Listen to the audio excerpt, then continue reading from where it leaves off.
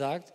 Es freut uns sehr, dass ihr gekommen seid an diesem Nachmittag, um gemeinsam mit uns das Thema Israel von spezieller Seite zu beleuchten. Herzlich willkommen von weit oder auch von nahe. Schön, dass ihr da seid und dass wir gemeinsam dieses Wochenende miteinander erleben können.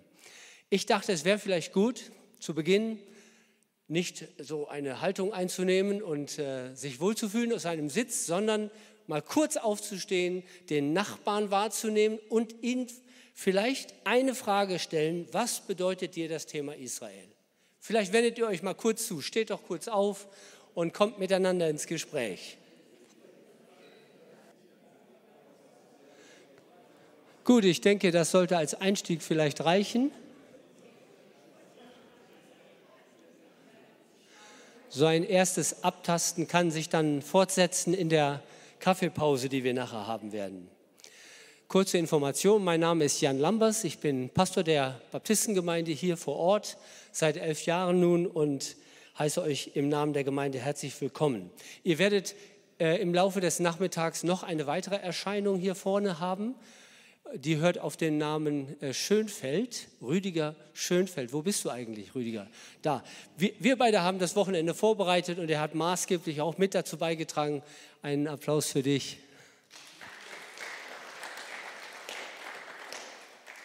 Ja, bevor wir jetzt in das erste Thema einsteigen, ähm, wäre es vielleicht auch ganz gut zu wissen, wer ist denn eigentlich der Redner des heutigen nachmittags. Und äh, ich begrüße herzlich den Harald Eckert und wir haben vereinbart, dass wir kurz, ja, vielen Dank. Das ist kein Heimspiel für dich, aber.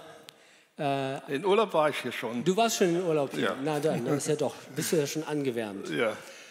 Ich freue mich besonders, euch den Referenten Harald Eckert vorzustellen und er hat noch einen Timotheus dabei. Das ist der Patrick. Die beiden sind hier gemeinsam unterwegs gewesen. Lieber Harald, dir nochmal ein herzliches Willkommen. Ja, danke Wir haben äh, den Nachmittag schon mal durchgesprochen miteinander und ähm, ich freue mich wirklich auf diese Zeit, die wir gemeinsam haben und bin sehr gespannt über deine Ausführungen. Aber würde gerne natürlich etwas von dir erfahren. Mhm. Du bist Präsident von Christen an der Seite Israels. Was macht ein Präsident einer solchen Organisation? Naja, bevor ich Präsident wurde, war ich in einigen anderen Funktionen tätig und habe die Arbeit in den letzten 15 Jahren weiterentwickelt. Habe auch sehr großen Wert gelegt darauf, dass die junge Generation herangeführt wird und hineingenommen wird. Und die letzten zehn Jahre intensiv auch in der Richtung gearbeitet. Ich sage immer, meine zwei besten Zielgruppen waren die Holocaust-Überlebenden und die junge Generation. Und äh, das bringt jetzt Früchte, ja. Und jetzt äh, übernimmt die junge Generation und ich bin auch Freund und Coach und Impulsgeber da an der Stelle, aber die ganze operative Arbeit wird jetzt von den jungen Leuten gemacht. Was würdest du denn sagen, ist für eine Organisation, die sich dem Thema Israel stellt, eine der größten Herausforderungen? Also ich würde sagen, im deutschen Kontext und auch im kirchengeschichtlichen Kontext die Ersatztheologie in den Kirchen. Mhm. Das ist die größte Blockade, die größte Last und die steht wie ein, eine Felswand der Offenbarung über Israel im Weg. Kannst du kurz äh, diese Ersatztheologie ganz kurz beschreiben, damit jeder weiß, wovon wir reden? Ja, ich bringe das mal auf den Punkt. Die Ersatztheologie ist schon in der Kirchenväterzeit, also in den ersten Jahrhunderten entstanden. In die Westkirche hinein hat Augustinus die vor allen Dingen begründet und promotet. Und er hat Ersatztheologie so gefördert. Erstens, es gibt keinen Messias in der messianischen Heilzeit, sondern ein Papst. Zweitens, Jerusalem ist nicht die Hauptstadt des messianischen Königreiches, sondern Rom. Drittens, Israel ist nicht das Volk, dem der Bund gilt und die Verheißung gilt, sondern das Kirchenvolk. Das ist Ersatztheologie, kurz zusammengefasst von der Kirchenväterzeit und dann hat sich das weiter vererbt. Es gibt eine lutherische Variante, es gibt auch freikirchliche Varianten, aber das mal als ähm, bisschen provokativer, zugespitzter Statement. So hat es angefangen. Nun habe ich irgendwo in einem Prospekt von CSI gelesen, dass die CSI, also Christen an der Seite Israels, an der Seite Israels, aber nicht auf der Seite Israels steht. Was verbindet ihr damit? Ja, also wir verbinden es damit, dass wir uns an die Seite Israel gestellt wissen, aber nicht gegen irgendjemanden. Also wenn wir für Israel sind, sind wir nicht gegen die Araber oder gegen die Moslems automatisch zum Beispiel. Ja? Äh, wir wünschen uns, dass die Araber und die Moslems auch sich an die Seite Israel stellen als Brüder. Aber wir sind nicht gegen jemanden, wenn wir für Israel sind, sondern wir sind für Israel, wir sind für Jesus, wir sind auch für die Gemeinde Christi in unserer Zeit und wir sind für alle erretteten Geschwister und alle Unerretteten, dass sie auch zum Herrn finden mögen.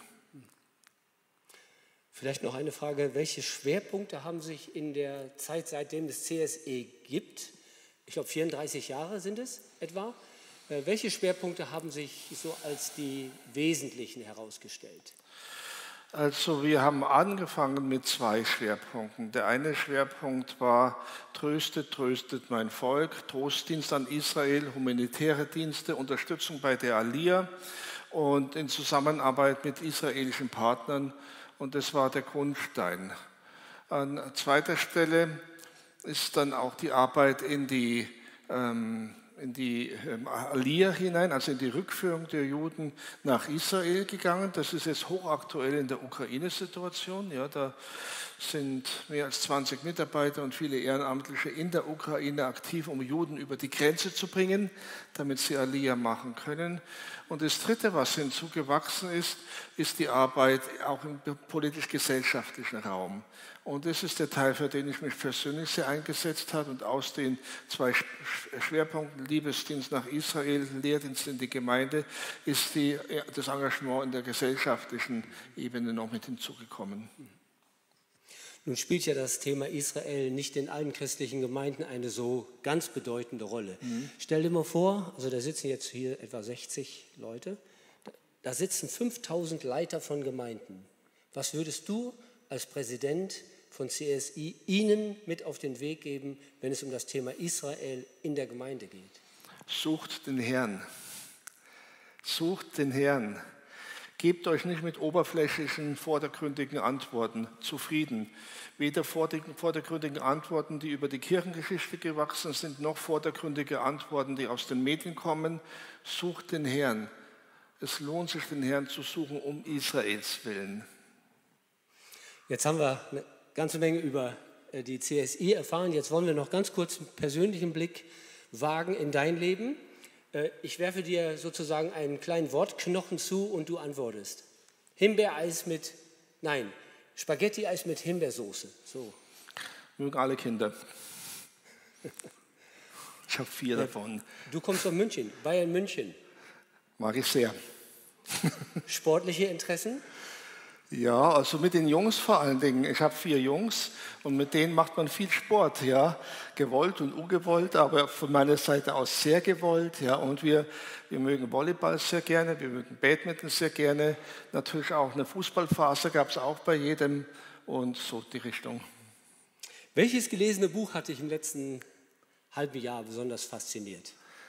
Äh, ich muss sagen, ich lese gerade ein Buch, das mich sehr fasziniert, und zwar von einem jüdischen Rabbiner, geschrieben mit anderen, er ist Herausgeber mit anderen zusammen, über das Verhältnis von Juden und Christen in den letzten 20 Jahren. In Deutschland? Äh, in, nein, also weltweit. Mhm. Aber es ist ein deutscher Rabbiner, da gibt es auch deutsche spezielle Passagen. Und ist faszinierend, es ist ein Wunder. Mein letzter Urlaub? War in Spanien. Meine Kochkünste sind? Überschaubar. Welche Ausbildung hast du wo genossen? Ich habe Anfang der 80er Jahre Betriebswirtschaft studiert an der Fachhochschule München und habe dann Ende 90er Jahre noch ein nebenberufliches Studium gemacht bei Stuttgart Ditzingen Akademie für Leiterschaft, Theologie und Philosophie. Also Bachelor in Betriebswirtschaft, Master in Theologie und Philosophie. Letztes Stichwort. Annalena Baerbock. Macht einen guten Job. Vielen Dank. Jetzt wisst ihr etwas über ihn. Bevor du einsteigst in dein Thema, würde ich gerne mit uns allen beten. Wir stehen dazu auf.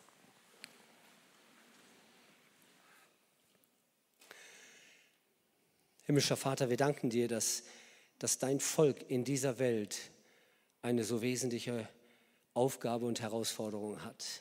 Und Herr, wir sind heute hier zusammengekommen, um ein wenig mehr davon zu erfahren, was die Zusammenhänge bedeuten, was sich in der politischen Welt abspielt und was dein Wort sagt. Und wir beten darum, dass du uns segnest miteinander, dass du, Herr, hier in unserer Gemeinschaft anwesend bist, so wie du es verheißen hast.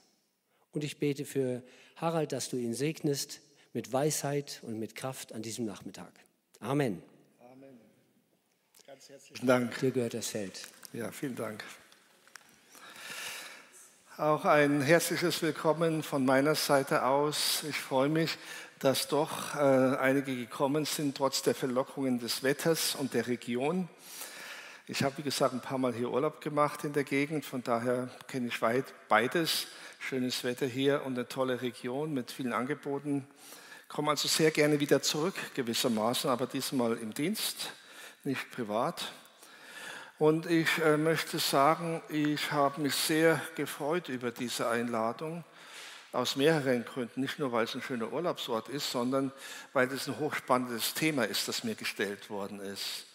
Das äh, habe ich nicht so oft erlebt, dass, sagen wir mal, eine etablierte Ortsgemeinde mich einlädt, um über die Grenzen Israels, über die äh, völkerrechtliche Status Israels und sowas zu sprechen, ist eine Ausnahme für mich.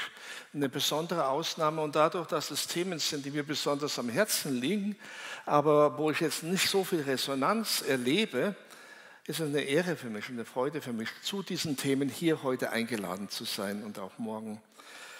Also vielen, vielen Dank an die Leitung hier. Vielen, vielen Dank für euer Interesse und dass ihr euch äh, hier die Zeit und äh, die Energie genommen habt, hierher zu kommen zu diesen Themen, was für mich natürlich äh, heißt, da ist, setze ich ein gewisses Interesse voraus an diesen Themen habe es nicht jetzt ganz genau gesehen, aber wenn ich es richtig aus dem Augenwinkel gesehen habe, war die Mehrheit hier schon in Israel. Habe ich das so richtig wahrgenommen? Das ist auch ein gutes Zeichen, das ist ein Ausdruck von Verbundenheit. Nun, der erste Vortrag lautet, hat das Thema Israel und die biblischen Landverheißungen.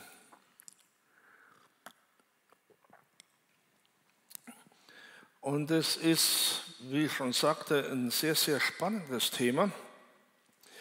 Und ich habe eine ganz bestimmte Art und Weise, mich diesem Thema zu nähern. Und diese bestimmte Art und Weise möchte ich kurz vorstellen. Und zwar, ich würde mich mal theologisch bezeichnen als ein leidenschaftlicher Vertreter der Heilsgeschichte. Jetzt weiß ich, dass nicht jeder das Gleiche unter Heilsgeschichte versteht. Da gibt es unterschiedliche Assoziationen. Aber vereinfacht gesagt ist Heilsgeschichte Gottes Erlösungsplan mit der Menschheit von Anfang bis zum Schluss. Und der Erlösungsplan Gottes begann im engeren Sinn mit der Berufung Abrahams und dann folgend mit der Berufung des jüdischen Volkes des, der Kinder Israel. Und die Heilsgeschichte endet im neuen Jerusalem. Ja, endet der Offenbarung, des Buches Offenbarung. Und was mit der Schöpfung begonnen hat und was dann im heilsgeschichtlichen Sinn mit Abraham begonnen hat, endet im neuen Jerusalem, biblisch gesprochen. Und zwischen dem Anfang und dem Ende gibt es eine Linie. Und diese Linie nennt man Heilsgeschichte. Die hat eine Begründung in Abraham, seinen Söhnen und seinem Volk.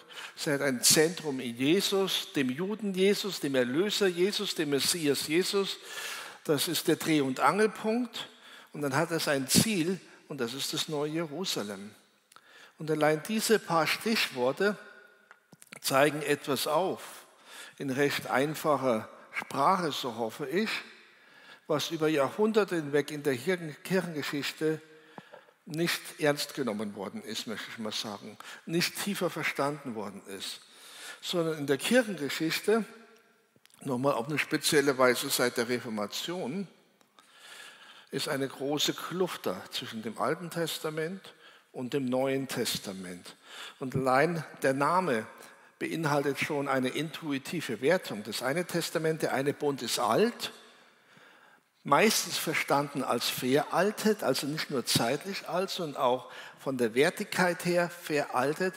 Und der neue Bund ist der eigentliche, das Neue Testament ist das eigentlich und die neutestamentliche Gemeinde ist die eigentliche.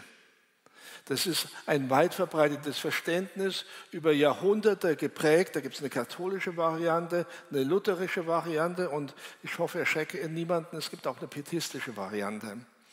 Ja, das heißt, ähm, das ist das, was über Generationen hinweg, über Jahrhunderte hinweg geprägt ist, eine Kluft zwischen dem vermeintlich Alten und dem Neuen. Und da gibt es Gründe dafür und auf die werde ich jetzt nicht näher eingehen. Aber es gibt sehr viel mehr Gründe dafür, die Bibel als eine Einheit zu sehen, die biblische Geschichte als eine Einheit zu sehen, die Erlösungsgeschichte in Menschen einer zerbrochenen Menschheitsgeschichte als eine Einheit zu sehen. Und das ist der Schlüssel. Das ist der Schlüssel zum Verständnis von vielem, wenn man sieht, Gott ist einer, Jesus ist Alpha und Omega, er war am Anfang dabei, er ist am Schluss dabei und er ist überall zwischendrin auch dabei. Das Wort Gottes ist maßgeblich von Juden geschrieben, sowohl das, was ganz am Anfang steht, als auch das, was ganz am Ende steht. Johannes war ein Jude. Und diese, diese Einheit der Heilsgeschichte und diese, auch die Schlüssigkeit und die Verwobenheit der Heilsgeschichte von Anfang bis zum Ende, das ist das große Ausrufezeichen, das ich über den heutigen Nachmittag setzen möchte, weil vieles andere kann man ohne die Anbindung und die Zuordnung zu dieser großen Geschichte Gottes mit der Menschheit entweder missverstehen oder gar nicht verstehen. Wenn man es nur partikular sieht, wenn man es nur in Ausschnitten sieht, dann ist es sehr widersprüchlich oder ambivalent oder wie auch immer umstritten, problematisch. Aber in vielen Fällen, wenn nicht in fast allen Fällen, in dem Moment, wo man dieses Detail und jenes Detail im Kontext der großen Geschichte Gottes, der Erlösungsgeschichte Gottes mit der Menschheit versteht, bekommt es den Rahmen, bekommt es die Zuordnung, die auch die verschiedenen Einzelheiten nachvollziehbar machen, inklusive der Landverheißungen. Und so, ich bleibe noch einen Moment bei der Heilsgeschichte. Ich möchte kurz ein paar Sachen dazu sagen. Das ist meine Einleitung, ist das Thema Heilsgeschichte. Und ich nehme mal einen Vers aus einem schönen Psalm heraus. Viele kennen auch den Psalm mit anderen Stichworten. Aber der Vers, den ich vorlesen möchte, ist Psalm 86, Vers 9. Und da heißt es, alle Völker, die du gemacht hast, werden kommen und vor dir anbeten, o Herr, und deinem Namen Ehre geben. Für mich ist es ein sehr faszinierender Vers, weil es gibt nicht so viele Verse, wo man darin lesen kann, dass Gott die Völker geschaffen hat. Und hier steht, Gott hat die Völker geschaffen und seine Vision für die Völker ist, dass der mal einst mit Blick auf die ewige Zukunft die Völker ihn anbeten. Und wenn wir jetzt in die letzten Kapitel des Buches Offenbarung schauen, vor allen Dingen äh, ab Vers, äh, Kapitel 20 und dann vor allen Dingen 21 und 22, wenn es ums ewige Jerusalem geht, ums neue Jerusalem, neuer Himmel, neue Erde, die aber auf die Erde kommen, um hier Gestalt zu gewinnen, eine Zivilisation Wahrheit werden zu lassen, die in Frieden miteinander lebt, in der Gegenwart Gottes miteinander lebt, dann sehen wir genau das. Dann sehen wir, wie Könige einziehen ins neue Jerusalem, um den Herrn anzubeten und um ihm die Ehre zu geben. Und das, was hier steht im Psalm 86, erfüllt sich in Offenbarung 21, 22. Ja, die Völker. Israel als ein ganz besonderes Volk. Aber Israel ist geschaffen im Gegenüber zu den anderen Völkern. Und auch da gibt es einen Kontext, den ich kurz anreißen möchte. Die Berufungsgeschichte Abrahams ist zusammengefasst in Kapitel 12, 1 bis 3, wo es heißt, der Herr aber hat zu Abraham gesprochen, geh hinaus aus deinem Land und aus deiner Verwandtschaft und aus dem Haus deines Vaters in das Land, das ich dir zeigen werde. Und ich will dich zu einem großen Volk machen und dich segnen und deinen Namen groß machen und du sollst ein Segen sein. Ich will segnen, die dich segnen und verfluchen, die dich verfluchen. Und in dir sollen gesegnet werden alle Geschlechter auf der Erde. Das ist der Grund, warum Gott Abraham berufen hat, damit er und seine Nachkommen ein Segen sind für alle Geschlechter auf Erden. Nun, Geschlechter, dahinter steckt ein Wort, Michporah, das kann sehr vielfältige Bedeutung haben. Ich persönlich setze als Übersetzung gerne die Wortreihe aus dem Buch der Offenbarung ein, weil da am meisten abgedeckt ist. Da ist die Rede von Völker, Nationen, Stämmen und Sprachen.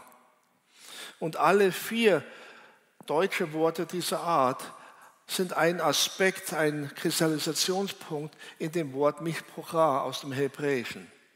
Kann Großfamilie bekommen, das geht in Richtung Stamm. Kann Volk bekommen, bedeuten, das ist das, was hier in erster Linie gemeint ist, wenn von Abraham die Rede ist. Kann aber auch in einer Änderung in die eine oder andere Richtung Nation bedeuten oder Sprachgruppe. Auf jeden Fall zu diesen kollektiven Größen hin ist Abraham berufen, sind seine Nachkommen berufen, ist Israel berufen. Israel im Gegenüber zu den Völkern, die Völker im Gegenüber zu Israel. Das liegt in der DNA der Berufung Israels. Und was ist der Hintergrund? Kurz eine kleine Skizze dessen, was ist vorausgelaufen bei 1. Mose 12, bei der Berufung. Da gab es eine Vorgeschichte. Diese Vorgeschichte beginnt nach der Sintflut. Ja, ist allgemein bekannt, die Sintflut, die Rettung von Noahs Familie, von den Tieren, die hinzugeführt worden sind. Man stieß auf Land, dann irgendwann konnte man raus und dann hat Gott dem Noah den Befehl gegeben, einen Altar zu bauen. Noah war gehorsam, war schon vorher gehorsam mit der Arche, war wieder gehorsam mit dem Altar. Und in, nachdem der Altar gebaut worden ist und Noah den Herrn angebetet hat, hat Gott einen Bund geschlossen, einen Segensbund mit der Menschheit, mit der Schöpfung als Ganzes, der noachitische Bund. Und diesen noachitischen Bund sollte man ein bisschen verstehen und im Hintergrund haben, ehe wir auf den Bund Gottes mit Abraham, Isaac und Jakob zu sprechen kommen, weil da ist ein innerer Zusammenhang da. Gott liebt die Völker. Gott liebt die Nationen. Er hat einen, einen innersten Wunsch, die Nationen zu segnen und letztendlich die Nationen dahin zu führen als Nationen, dass sie ihn anbeten, dass sie ihn ehren. Was dann in die letztendliche Erfüllung kommt, wie uns Johannes sagt im Schluss des Buches Offenbarung und in der Ära, die dann da angesprochen ist. Das ist sein großer Wunsch. Und das war es von Anfang an. Gott liebte von Anfang an jeden einzelnen Menschen. Und wie wir lesen können, in 1. Timotheus, er möchte, dass jeder einzelne Mensch errettet wird und zur Erkenntnis der Wahrheit kommt. Aber auf einer anderen Ebene, auf einer kollektiven Ebene, liebt er alle Nationen. Der Herr liebt alle Völker und Nationen, genau wie der jeder einzelne Mensch eine Widerspiegelung Gottes ist, vom Charakter, Persönlichkeit, abgesehen von Sünde, genauso ist es bei den Nationen. Ein kollektiver Reflex der Schönheit und des Charakters und der Persönlichkeit Gottes, abgesehen von Sünde. Sünde ist das Problem im persönlichen und im kollektiven. Nun gut, aber so ist der Wille Gottes. Er hat Noah beauftragt, den Altar zu bauen. Er hat einen Segen ausgesprochen über die Natur, über die Menschen, und Sonne und Dunkelheit und Sommer und Winter und Saat und Ernte, all das soll unter Gottes Segen erhalten bleiben und fruchtbar werden. Und das Zeichen des Noahbundes ist der Regenbogen. Ja. Und Gott hat einen Bund mit der Schöpfung geschlossen. Er hat einen Bund mit den Menschen geschlossen. Und in diesen Bund hineingeboren ist die Völkerwelt. Der Noah-Bund ist 1. Mose 8, 1. Mose 9. Dann kommt 1. Mose 10 und aus den vier Söhnen, äh, aus den drei Söhnen ähm, Noahs, ich habe vier Söhne, Noah hatte drei, aus den drei Söhnen Noahs und dessen Frauen sind, und das können wir in Kapitel 10 nachlesen, 70 Völker hervorgegangen. 70 Namen von 70 Völkern werden in der manchmal so bezeichneten Völkertafel 1. Mose 10 benannt.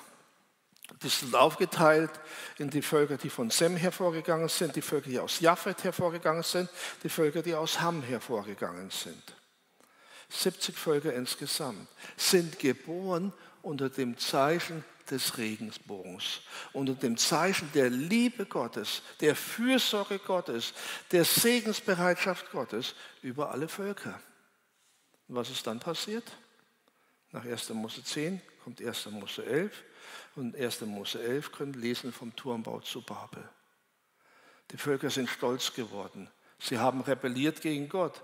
Sie haben gesagt, deinen Segen brauchen wir nicht, das schaffen wir selbst. Wir sind alle eins, ja, kennt ihr, könnt ihr nachlesen.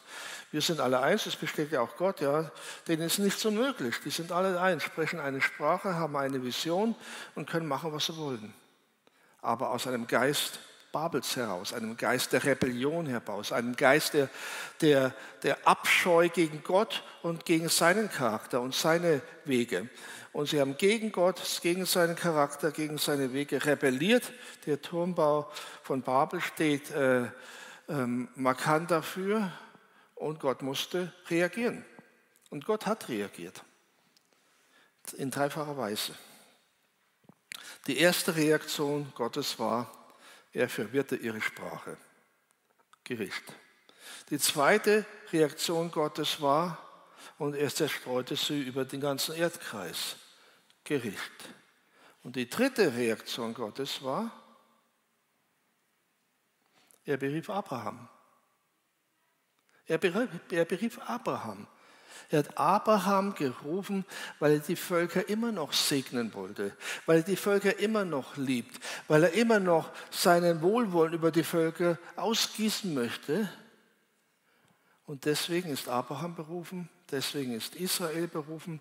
Er möchte die Völker segnen, aber es gibt eine Bedingung.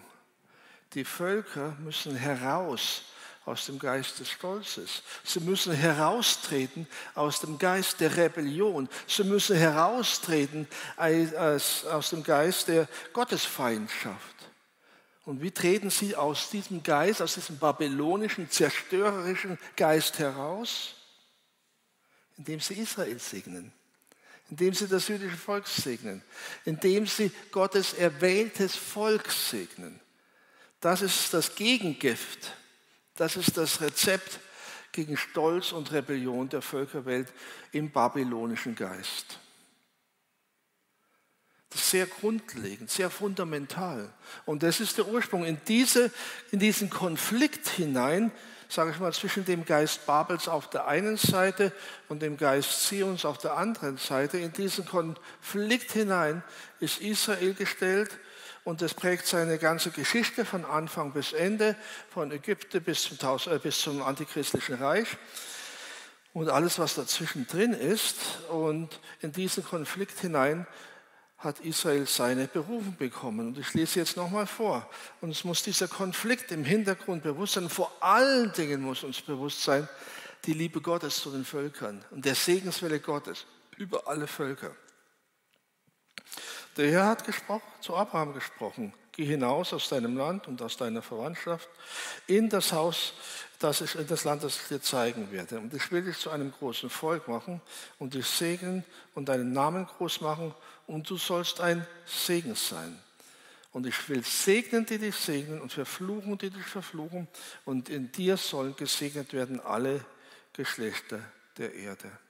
Das ist die DNA, die innerste Berufung Israels, ein Segen für die Völker zu sein. Und dazu, sagt Gott, sollen sie erstmal ein großes Volk werden. Er führt Abraham in ein ganz bestimmtes Land. Und das ist der Dreiklang, der über Israels Schicksal, über Israels Berufung steht. Land, Volk, Berufung. Eine Aufgabe, eine Mission. Segen für alle Völker zu sein. Das ist der große Kontext. Und das äh, wiederholt sich dann mit der Berufung. Äh, ich deute es nur kurz an. Wir sehen dann in 1. Mose 26, ähm, wie äh, Isaak berufen wird. Sei ein Fremdling in diesem Land und ich will mit dir sein und dich segnen. Und dir und deinem Samen will ich alle diese Länder geben und will den Eid bestätigen, den ich auf deinem Vater Abraham geschworen habe. Das ist eine Wiederholung der Berufung. Darin eingeschlossen ist die Landverheißung. Wir nähern uns uns langsam dem eigentlichen Thema. Darin eingeschlossen ist die Landverheißung. Und die hat Gott auch zu Isaac ausgesprochen, wie zu Abraham. Und dann zwei Kapitel später in 1. Mose 28 auch nochmal zu Jakob hin. 28, 3 und 4. Und Gott, der Allmächtige, segne dich und mache dich fruchtbar und mehre dich, dass du zu einer Menge von Völkern werdest. Und er gebe dir den Segen Abraham, dir und deinem Namen mit dir, dass du das Land in Besitz nimmst, in dem du als Fremdling lebst, das Gott dem Abraham gegeben hat. Da haben wir die Landverheißung. Aber die Landverheißung ist äh, integriert in die Grundberufung Israels. Und die Grundberufung Israels ist ausgesprochen worden in den Konflikt hinein, der in der Nachfolge oder im Nachwirken von dem Turmbau zu Babel über den Erdkreis gekommen ist.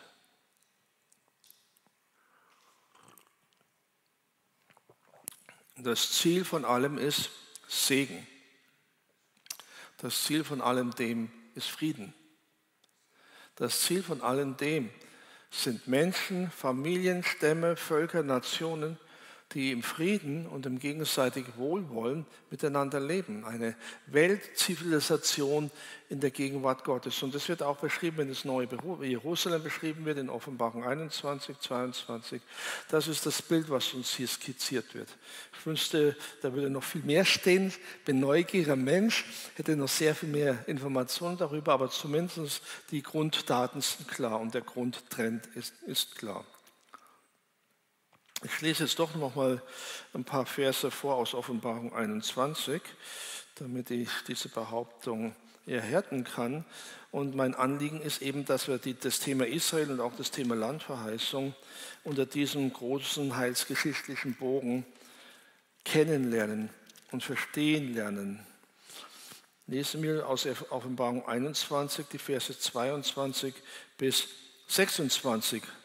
Also ihr habt umgeschaltet, das ist das Ende der Geschichte. Das ist im neuen Jerusalem, neuer Himmel, neue Erde.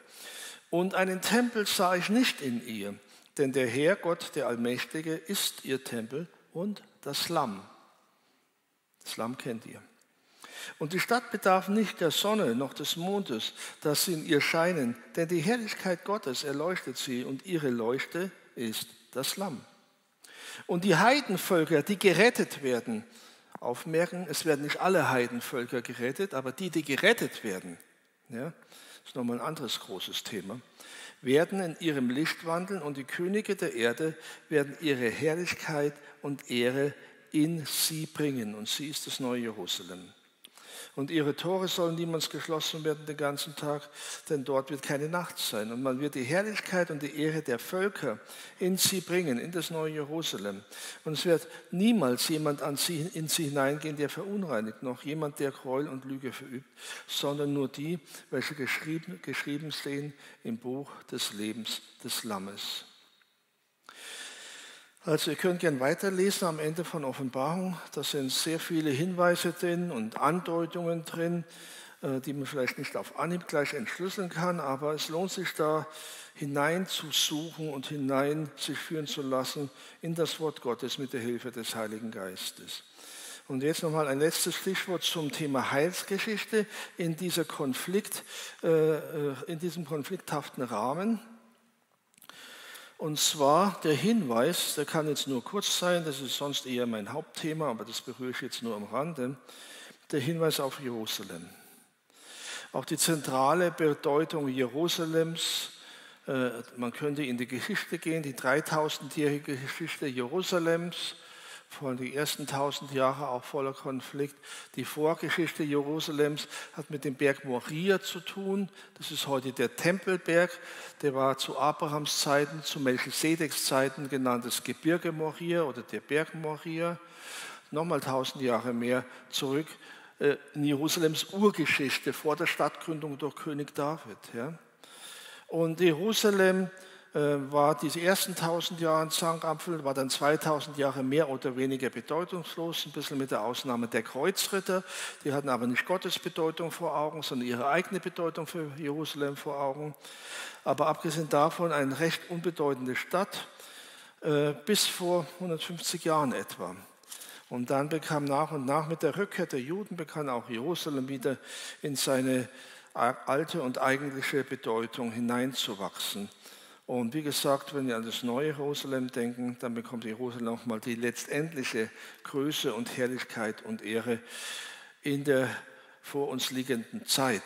Aber in der Zeit, in der wir jetzt leben, und das ist auch ein Hinweis, den kann ich nur am Rande nennen, den kann ich jetzt nicht tiefer erläutern oder begründen, in der Zeit, in der wir jetzt leben, der Zeit, in der sich die Wiederkunft Jesu immer mehr naht, so behaupte ich jetzt mal, und das deutlichste Zeichen dafür, dass wir in dieser Generation leben, ist Israel und ist Jerusalem, ja, dass der Herr seine Wiederkunft vorbereitet, bekommt Jerusalem noch eine tiefere Bedeutung.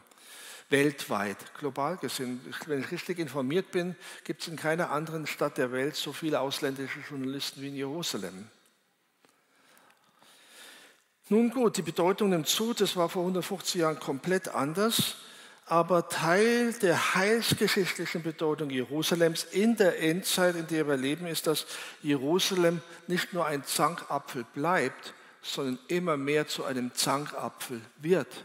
Und es sagt uns die Bibel voraus, dass das vor der Wiederkunft Jesu und vor dem Anbruch des messianischen Königreiches sich nicht ändern wird. Im Gegenteil, der Zankapfel wird noch immer heftiger umkämpft sein.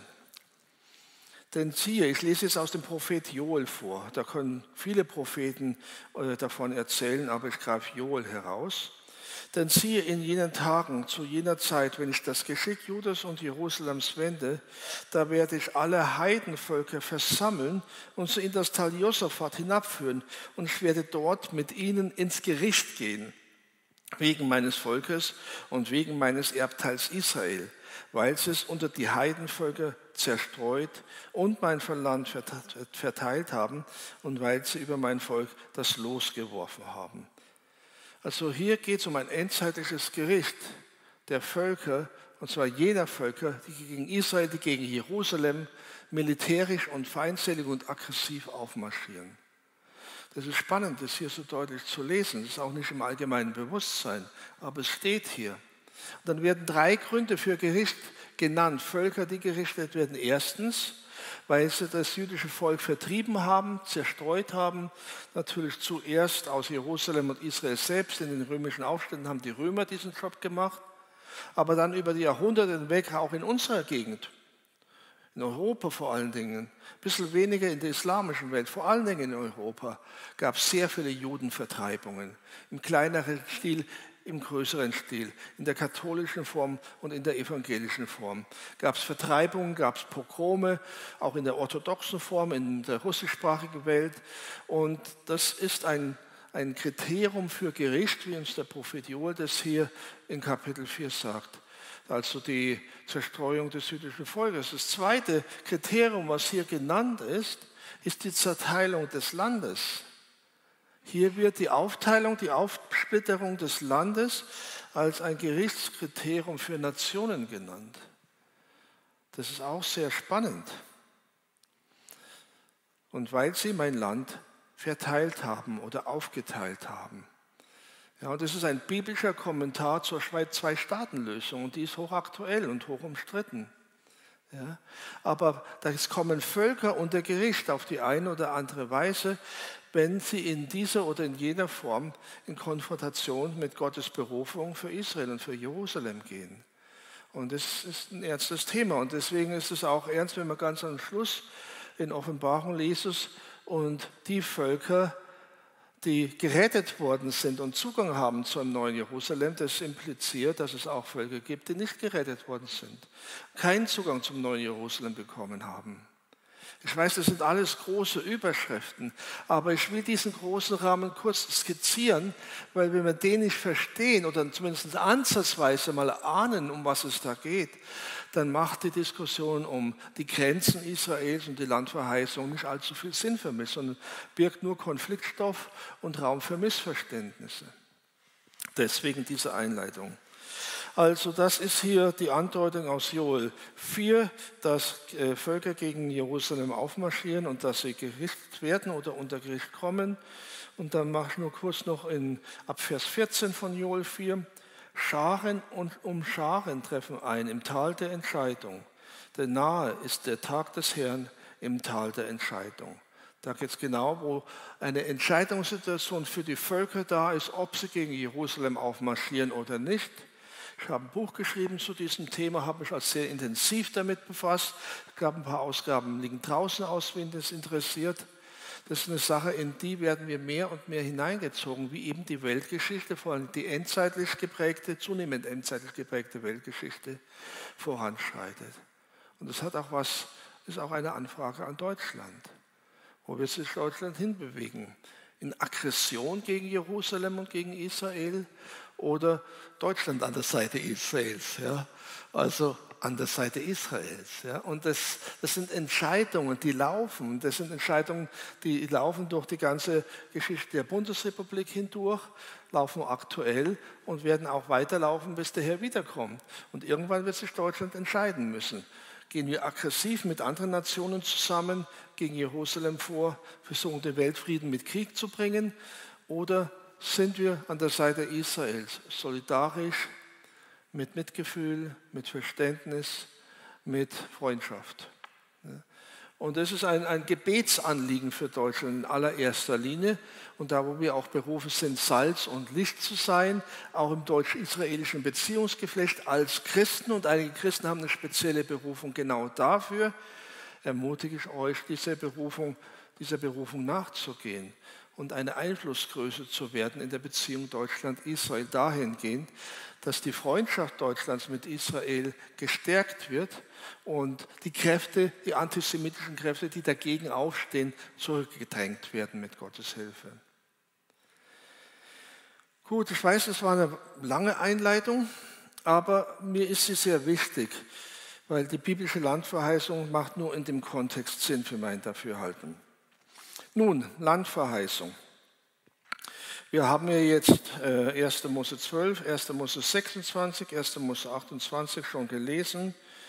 Das Land ist ein ganz zentraler Bestandteil der Berufung Israels, des Bundes, den Gott mit Israel geschlossen hat. Warum? Ja, kann man auf alle möglichen Weise versuchen zu erklären, aber ich versuche es aus der heilsgeschichtlichen Notwendigkeit heraus zu erklären und aus den Rahmenbedingungen, auch aus der Konfliktsituation, die, zu, äh, die nach dem Noah-Bund zum äh, Turmbau Babels und zur Berufung Abrahams geführt hat. Gott liebt die Nationen. Gott möchte die Nationen segnen, aber er muss zu ihnen durchdringen, er muss sie irgendwie erreichen, die Völker dieser Welt und Gottes Mittel der Wahl, zu den Völkern zu sprechen und in die Völker hinein seine Liebesbereitschaft, seinen Segenswillen kundzutun, ist eben Israel. Und Israel, und das ist für uns Christen schwer zu verstehen, das ist eine völlig andere Kultur, eine völlig andere Mentalität. Aber Israel ist viel mehr als eine Religionsgemeinschaft. Israel ist ein Volk und zum Volk gehört, ja, auch der Tempel, auch die Synagogen, auch die Torah, aber zu einem Volk gehört eben auch ein Land. Es gibt auf Dauer kein Volk ohne Land und auch umgekehrt wenig Land ohne Volk. Das ist Teil der Grundordnung unserer Gesellschaft. Und, und Gott hat durch Israel im Laufe der Zeit schon sehr viele Segenswirkungen hinein in die Völkerwelt gegeben. Erstes Beispiel. Aus dem Schöpfungsbericht der Bibel ist die Sieben-Tage-Woche heraus entstanden. Zuerst in Israel, aber dann über die Jahrhunderte und Jahrtausende hinweg hat sich das jetzt über die ganze Welt verbreitet, die Sieben-Tage-Woche. Es gab immer mal Experimente in verschiedenen Diktaturen, das zu verändern. und vermeintlich die Effizienz zu steigern, die Arbeitseffizienz, aber es hat nie geklappt. Ja, und es ist dann immer durch Volksgesundheit und ähnliche Dinge dahin korrigiert worden, auch durch die große Mehrheit der Nationen die Sieben-Tage-Woche akzeptiert haben. Die kam vom Schöpfungsbericht, die kam von den Juden, die kam von Israel.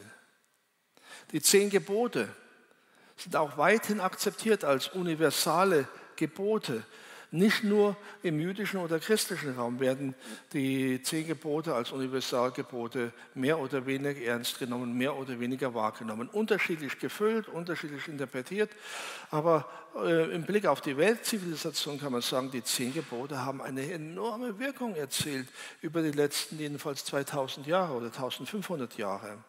Enorme Wirkung erzielt. Ja, dann das Wort Gottes. Das ganze Wort Gottes, Altes Testament, Neues Testament, vielleicht mit wenigen Ausnahmen, ist von Juden geschrieben worden. Also eine Quelle von Segen kommt aus Israel. Aber nicht nur das, auch wenn man heute schaut, schauen wir mal die letzten 100 Jahre, wie viele Nobelpreisträger gab es. Im Verhältnis zur Bevölkerungszahl steht mit Abstand an der Spitze jüdische Nobelpreisträger. Wenn wir heute schauen, was produziert das Land Israel zum Segen für die Nationen? Ja, es gibt kaum eine Branche, einen Bereich des alltäglichen Lebens, in dem Israel nicht Spitzenleistungen verbindet. Ob es die Landwirtschaft ist, ob das Jura ist, ob das Wirtschaft ist, ob das das Rechtswesen ist, ob das das Sozialwesen ist. Äh, aus Israel kommen immer wieder Spitzenleistungen, die andere Fachleute aus der gleichen Branche inspirieren und wo Leute gerne zum Studieren nach Israel kommen aus aller Welt. Ja. Da ist ein Segen über diese Nation. Da ist, ist etwas, was nicht Durchschnitt und nicht Mainstream ist. Aber um das alles machen zu können, in das hineinwachsen zu können, um all das ähm, fruchtbar machen zu können, musste natürlich dieses Volk in einem Land leben. Ja. Das kannst du nicht so in der gleichen Weise in der Diaspora kann man auch was, aber nicht kollektiv, nicht gemeinschaftlich, nicht mit dem Segen und der Kraft, die auf dem Miteinander von Juden im gleichen Land und in der gleichen Sprache äh, der Fall ist. Das, das ist neu. Es gibt jetzt so schon zwei oder drei Bücher, die so in Richtung vom Titel her gehen, Israel, die Start-up-Nation. Weil diese, äh, dieser Erfindergeist, diese, diese Genialität ein Stück weit dazu Durchbruch kommt, oft aus, aus, aus Notsituationen heraus die kommt in Israel in einer besonderen Weise zu tragen, weil jetzt Israel wieder im eigenen Land ist und nicht über alle Welt verstreut ist. Da hat es auch schon dauernd dort aufgeblitzt, aber jetzt Israel, Start-up-Nation, einen Segen für alle Völker. Ja, also nicht nur Religionsgemeinschaft, sondern auch Volk. Und wenn man so will, kann man sagen, ist die Tora, die ersten fünf Bücher Mose, sowas wie das bürgerliche Gesetzbuch Israels. Also es geht darum, wie lebt ein Volk miteinander zusammen, mit sehr unterschiedlichen Persönlichkeiten und Beauftragungen und so weiter und so fort. Ja, da gibt es eben auch den liturgischen Teil gewissermaßen, aber es gibt auch den Gesetzesteil. Und ich nenne es gerne und mit Absicht bürgerliches Gesetzbuch äh, Israels und äh, mittendrin die zehn Gebote und mittendrin auch ein Gebot, das heißt, du sollst lieben von ganzem Herzen, von ganzer Seele und von ganzer Kraft. Und an einer anderen Stelle nochmal das Gebot, du sollst lieben deinen Nächsten wie dich selbst. Was Jesus als die Zusammenfassung aller Propheten betitelt hat und geadelt hat. Also deswegen Land. Nun, jetzt gehen wir noch ein bisschen tiefer in die Sache. Wie ist es denn mit den Grenzen Israels? Und das ist eine Ursache für Verwirrung, weil es nicht nur eine Definition der Grenzen gibt, sondern mehrere. Die allgemeinste, grundlegendste Definition ist vom Bach Ägyptens bis zum Euphrat. Ja, also Bach Ägyptens gibt es auch unterschiedliche Interpretationen. Ist es, ist es Suez oder ist es Nil oder was? Ähm, da da, da, da gibt es Fachdiskussionen, die mich jetzt nicht besonders interessieren, ehrlich gesagt. Auf jeden Fall ist es an der, ähm, an der Grenze zu Ägypten. Das Schilfmeer ist eine weitere Interpretation. Dann stellt sich die Frage, ja, was ist das Schilfmeer genau? Wieder unterschiedliche Meinungen. In die Diskussion steige ich nicht ein. Aber auf jeden Fall an der Grenze zu Ägypten einerseits und Euphrat ist eindeutig. Es gibt nur ein Euphrat. Und dieser Euphrat ist äh, besuchbar und schwimmbar und, und definierbar. Also, auf jeden Fall, das ist die allgemeinste Verheißung. Und dann gibt es noch ein bisschen ähm, umstrittenere Definition, selbst wenn man in die Bibel guckt, das ist eine Frage, wenn man die ganzen Stämme nennt und was die Stämme für Grenzen zugewiesen bekommen haben, dann gibt es ja, das wisst ihr im Allgemeinen wahrscheinlich, dass es eben auch Stämme Land bekommen haben, äh, östlich des Jordan, ja, Ostjordanland, im Unterschied zum Westjordanland. Westjordanland ist das, was es im Großen und Ganzen als das genuine, moderne Israel bezeichnet wird. Aber es gab ja auch östlich im heutigen Jordanien, gab es äh, ähm, bestimmte Bereiche, die zwei der Völker oder zweieinhalb der Völker äh, zugewiesen worden sind, die sie auch erobert und bewohnt haben. Und das ist eine der umstrittenen Fragen, äh, zählen die mit dazu oder für welche Epoche zählen sie mit dazu und so weiter und so fort. Auch diese Detailfragen, das ist nicht mein, meine Denke und nicht mein, mein Können. Ähm, ob man die, um die jetzt, das weiß ich, Stichwort Groß-Israel kämpfen muss, ähm, das sei dahingestellt. Da gibt es verschiedene Meinungen und ich habe keine eigene. So gehe ich damit um. Aber um zurückzukommen zu der großen Verheißung vom Bach Ägyptens bis zum Euphrat, ich erwarte, dass spätestens nach der Rückkehr des Herrn im messianischen Königreich dass die Grenzen sein werden, die Grenzen Israels. Was vor der Rückkehr noch verwirklichbar ist, das ist die eine Frage, die lasse ich teilweise offen. Aber spätestens nach der Rückkehr des Messias ist das Kernland Israels zwischen dem Bach Ägyptens und dem Euphrat. Und zwar in einer Friedenskonstellation. Und zu dieser Friedenskonstellation möchte ich eine Passage aus dem Prophet Jesaja vorlesen. Manchen ist es sehr vertraut, für viele ist es ein ganz tiefes Gebetsanliegen und Herzensanliegen. Äh, andere werden das vielleicht jetzt zum ersten Mal so bewusst wahrnehmen, weil es gibt eine endzeitliche Verheißung im Buch Jesaja, Kapitel 19, wo es um eine von Gott gestiftete und der biblische Gott im Zentrum stehende Friedensgemeinschaft zwischen Ägypten und Israel und Assyrien, dem heutigen Irak, mehr oder weniger auf jeden Fall da, wo der Euphrat ist, gibt es eine Friedensgemeinschaft unter Gott. Und das ist phänomenal. Die Verheißung ist phänomenal. Und letztendlich auch nur unter so einer Friedensordnung oder Friedensgemeinschaft kann man sich vorstellen, dass äh, das Landesgrenze Israels bis zum Euphrat ausgebreitet wird und zu einem Konsens mit den Nachbarn, nicht im Krieg.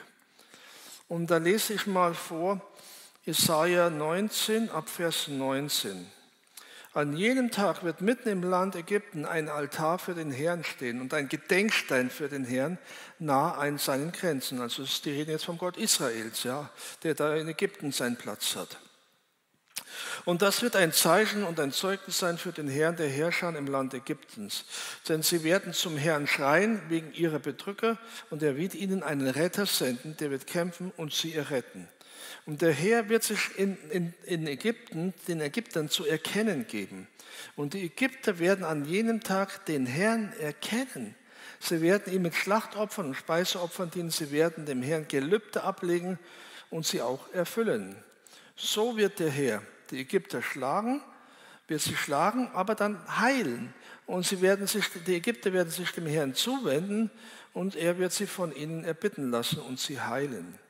An jenem Tag wird von Ägypten eine gebahnte Straße nach Assyrien gehen, Irak, Euphrat, und der Assyrer wird nach Ägypten und der Ägypter nach Assyrien kommen hin und her, und die Ägypter werden mit den Assyrern dem Herrn dienen.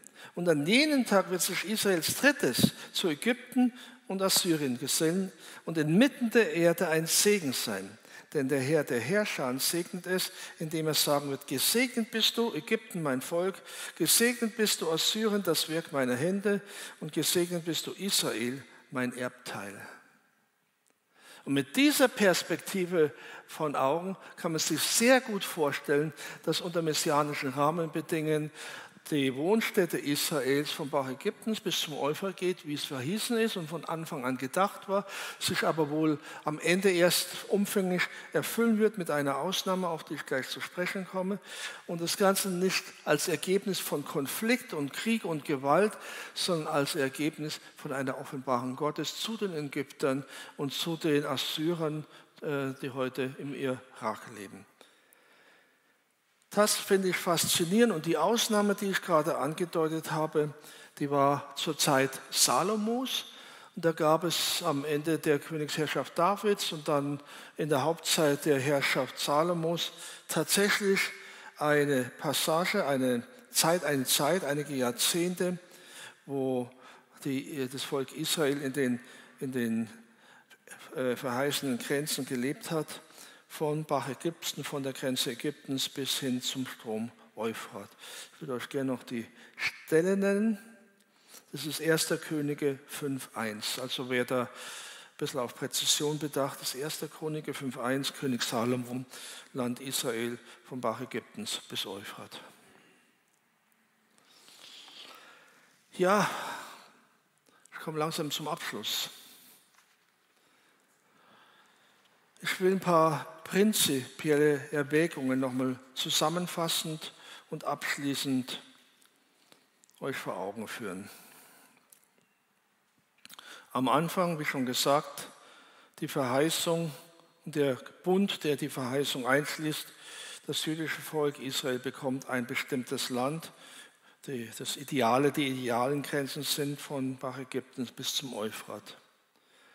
Gott stiftet eine Verbindung zwischen dem Volk Israels, dem Land Israels, der Berufung Israels und dem Glauben Israels. Diese vier Dinge sind eine Einheit. Und wie das in der Zeit der Diaspora der Fall war, wenn diese Einheit zerrissen ist, leidet das jüdische Volk. Und zwar wahrscheinlich tiefer, als irgendjemand von uns nachvollziehen kann. Dann sind sie nicht ganz, dann sind sie wie eine gespaltene Persönlichkeit, kollektiv gesprochen das Land, das Volk, der Glaube und die, was war das vierte, die, die, die Religion sozusagen, die religiöse Seite, das sind eine Einheit und gehören zusammen. Das ist von Gott her so verordnet. Und Vertreibung aus dem Land war und ist bis heute ein Zeichen von Gericht. Ein Zeichen von Gericht an Israel, am jüdischen Volk. Und das ist äh, biblisch auch in einer sehr dramatischen Weise, kann ich sagen, zum Ausdruck gebracht worden. Ähm, und zwar im Alten und interessanterweise auch im Neuen Testament. Ja, das, all das ist so hochbedeutsam. Also in den ersten fünf Büchern Mose, die meisten von euch werden wissen, dass es äh, diese, diese Passagen über Segen und Gericht geht. Und Gericht in diesen Passagen heißt immer Fluch als der Kontrast ist Segen und Fluch.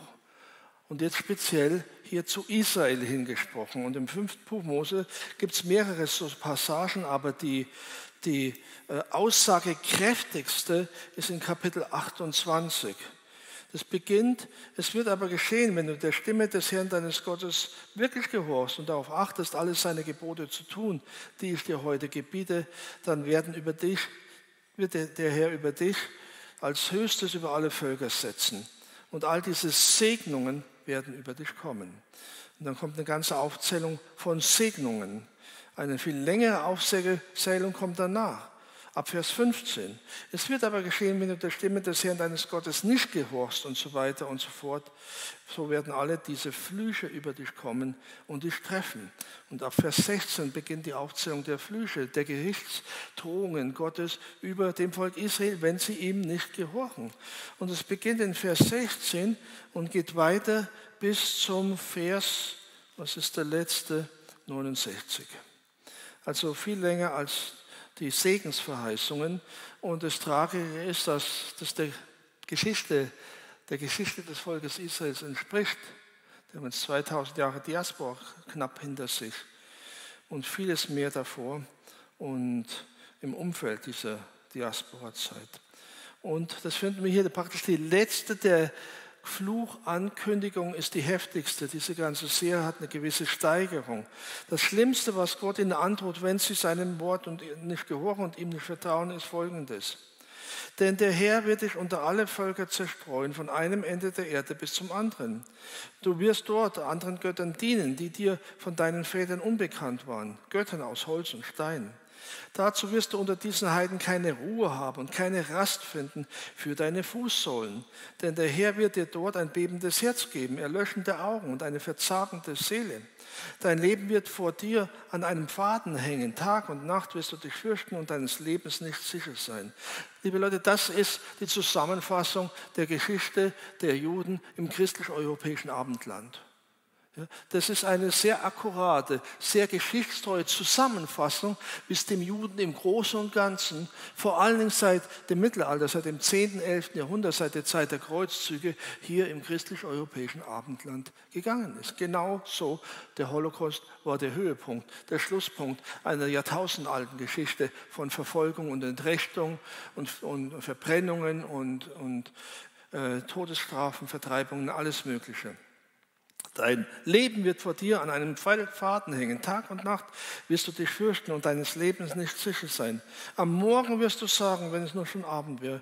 Und am Abend wirst du sagen, wenn es nur schon Morgen wäre. Wegen der Angst, die dein Herz erschreckt und wegen dessen, was deine Augen ansehen müssen. Ja, und der Ausgangspunkt ist, Vers 64, der Herr wird dich unter alle Völker zerstreuen. Ist euch bewusst, dass Jesus diese Worte zitiert hat? Dass er genau diese Worte wiederholt hat? Und zwar vor der Diaspora über knapp 2000 Jahre. Gericht gegen Israel, das finden wir im Evangelisten Luca. Und zwar im Vers 21. So wie Mark kann das aufschlagen. Der Evangelist Luca, ähm, Kapitel 21. Und da zitiert Jesus diese Phrase aus dem fünften Buch Mose 28, Vers 64. Als Gerichtsankündigung. Seine jüdischen Zuhörer natürlich, die kannten diese Passagen aus dem Alten Testament, die, die lernen von Kindheit an die Tora auswendig. Und die haben genau den, den Hinweis ganz genau verstanden. Und da heißt es, lesen wir ab Vers 20, wenn ihr aber Jerusalem von Kriegsherren belagert sieht, dann erkennt, da es seine Verwüstung nahe ist. Dann fliehe auf die Berge, wer in Juda ist und wer in Jerusalem ist, der ziehe fort aus ihr. Und wer dem auf dem Land ist, der gehe nicht hinein dann, denn das sind die Tage der Rache, damit alles erfüllt werde, was geschrieben steht. Jetzt überspringe ich und gehe zu Vers 24 und da kommt dann dieses Zitat, und sie werden fallen durch das schärfe Schwerte und gefangen weggeführt werden unter die Heiden. Gefallen unter der Schärfe des Schwertes, das hat sich damals erfüllt in den zwei Aufständen, jüdischen Aufständen gegen die Römer, die dann brutal niedergeschlagen worden sind. Man sagt, äh, im Höhepunkt der Zufluchtszeit zu Jerusalem hin lebten über zwei Millionen Juden in Jerusalem, zwei bis zweieinhalb.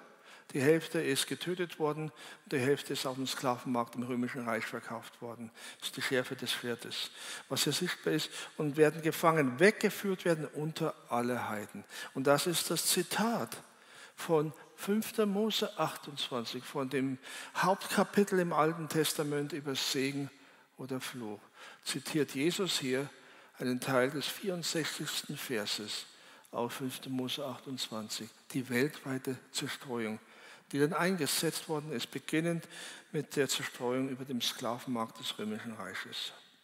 Dann geht es aber weiter. Also weggeführt werden unter alle Heidenvölker und Jerusalem wird zerstreut werden von den, zertreten werden von den Heiden. Und das ist passiert. Das ist die Geschichte bis Ende des 19. Jahrhunderts. Die Heiden haben auf Jerusalem, haben Jerusalem verachtet, gedemütigt, so weit in den Dreck gezogen, wie sie nur irgendwie konnten. Luther übersetzt dieses Wort hier mit vergewaltigt, haben Jerusalem vergewaltigt.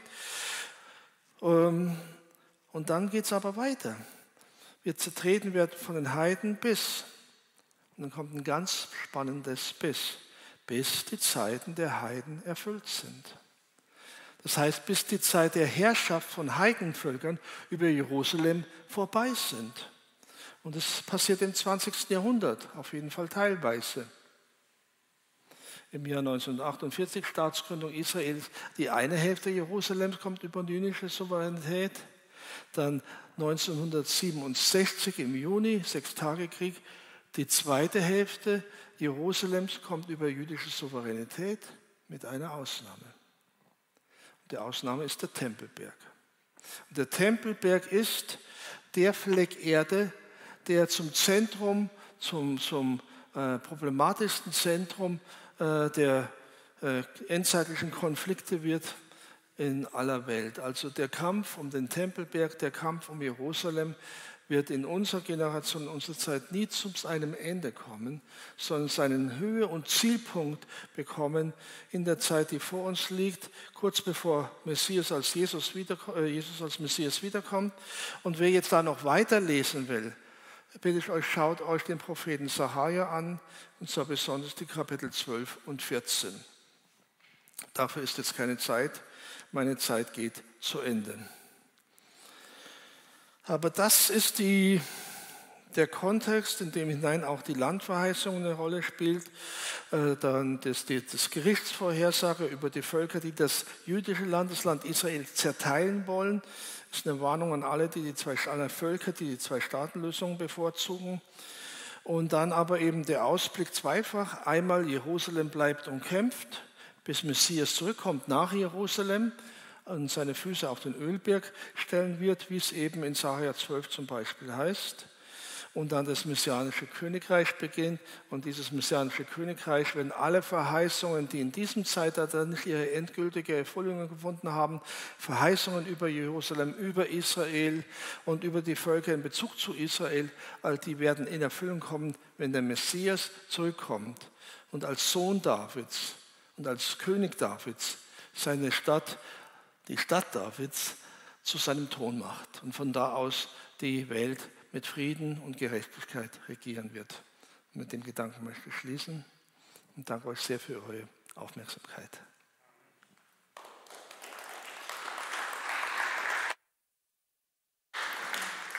Letzter Satz. Wir haben draußen ein Büchlein, die Landverheißung für Israel aus biblischer Sicht. Wenn es noch mehr interessiert, herzliche Einladung dazu. So, und ihr habt jetzt ein paar Minuten Zeit, äh, Rückfragen zu stellen. Wenn irgendjemand ähm, gerne eine Frage stellen möchte, dann darf er das an dieser Stelle tun. Wir haben hinten ein Mikro, die wird zu euch gebracht. Bitte fragt nicht einfach nur so. Warten, bis das Mikro da ist, dann hört man euch. Hier ist eine Meldung. Darf ich es festhalten? Einfach im Aufstehen. Ähm, das ist doch richtig, dass Anfang des 20. Jahrhunderts ganz viele Juden Land gekauft haben, noch vor 48 natürlich, obwohl sie sich ja gar nicht vorstellen konnten, dass äh, das dann 48 passiert. Ähm, ist das so schon richtig? Das habe ich so in Erinnerung. Ja, und es kommt auch jetzt in meinem nächsten Vortrag besser vor, weil da geht es um das Völkerrecht.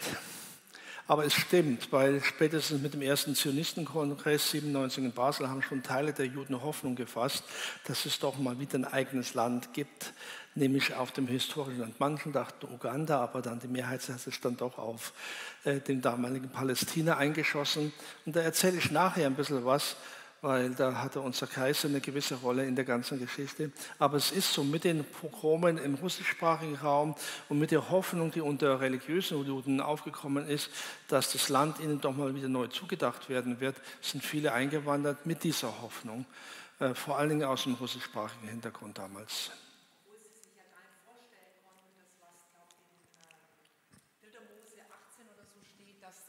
Zusammenkommt haben sie das trotzdem so gekauft. Ne?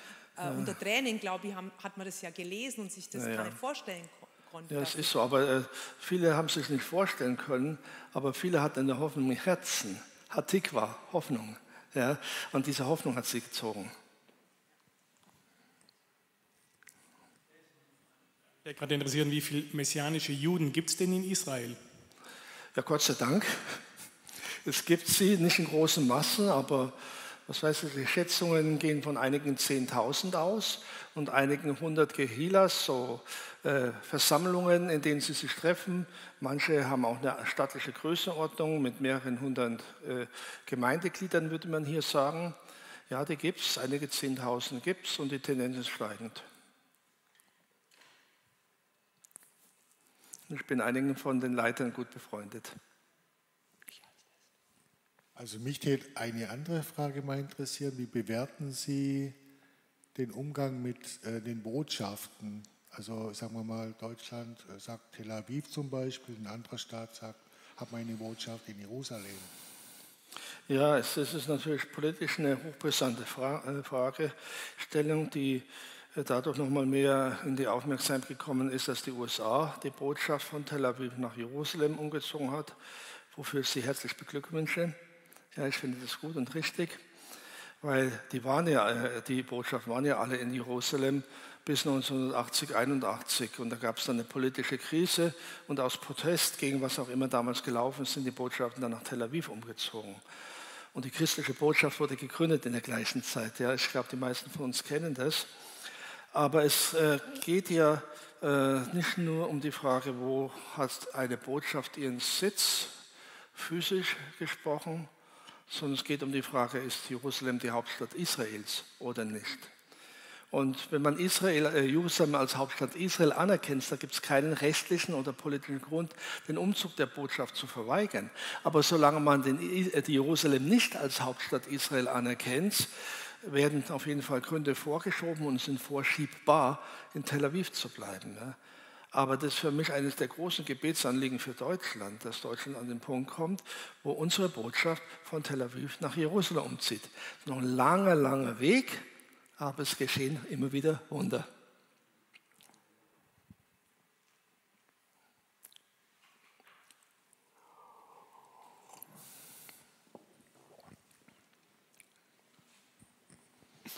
Ich habe kürzlich von einem Theologen das Argument gehört, dass er das heutige Israel, den heutigen Staat Israel, nicht wirklich als Erfüllung der Verheißungen anerkennen kann, mit der Begründung, dass es ja ein völlig atheistischer Staat wäre. Äh, das ist sein Problem, dass er jetzt äh, den Zusammenhang mit der biblischen Landverheißung jetzt nicht erkennen kann, dass das eine Erfüllung wäre. Ja, da ist er nicht der Einzige. Das Interessante ist auch, dass es viele, nicht viele, aber doch eine, eine ziemlich stattliche Anzahl äh, von religiösen Juden gibt, die genauso argumentieren. Im ultraorthodoxen Bereich, die behaupten, ein bisschen ähnlich, einem anderen Background, aber nur der Messias kann Israel wiederherstellen, Jerusalem wiederherstellen, die Grenzen wiederherstellen. Das ist nicht Aufgabe des Menschen, vor allem nicht Aufgabe von ungläubigen Menschen. Das ist also eine ganz ähnliche Denke. Und also ich glaube, dass es äh, solche Leute, die haben einen gewissen Ernst in dem, was sie denken, die, die, die zumindest die hier jetzt vor Augen stehen, gehe ich davon aus, die sind nicht billig oder polemisch ist nämlich schon eine Frage, was liegt in der Hand Gottes, was liegt in der Hand des Menschen, was liegt noch dazu in der Hand eines sündigen Menschen oder von sündigen Menschen, von säkularen Menschen vielleicht sogar. Und von daher ist es keine billige Frage, die ich auch nicht so schnell abtun möchte.